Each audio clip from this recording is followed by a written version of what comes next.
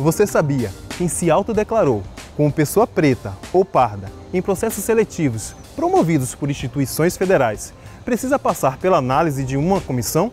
Essa etapa é chamada de heteroidentificação.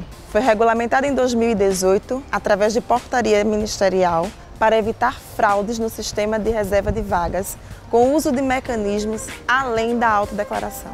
O IFPE irá adotar a heteroidentificação em todas as suas seleções de estudantes para cursos técnicos, de graduação, pós-graduação, como também em concursos públicos e processos seletivos para estágios não obrigatórios. No ato de inscrição desses processos seletivos, a pessoa que se declarar preta ou parda deverá passar por uma comissão de heteroidentificação complementar.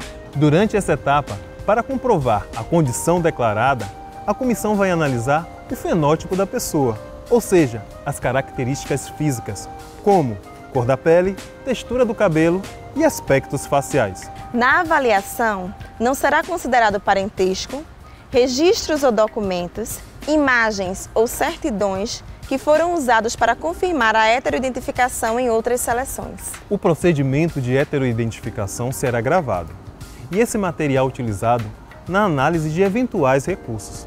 Será proibido usar maquiagem e acessórios, como boné, chapéu e óculos de sol, que dificultem a observação e o registro das características fenotípicas. E tem mais! Quando acontecer da pessoa se autodeclarar indígena, será necessário apresentar o Registro Administrativo de Nascimento Indígena, o RANI, ou Declaração de Reconhecimento de Identidade Indígena. Você quer mais informações sobre o procedimento de heteroidentificação complementar e de aferição da condição indígena autodeclarada?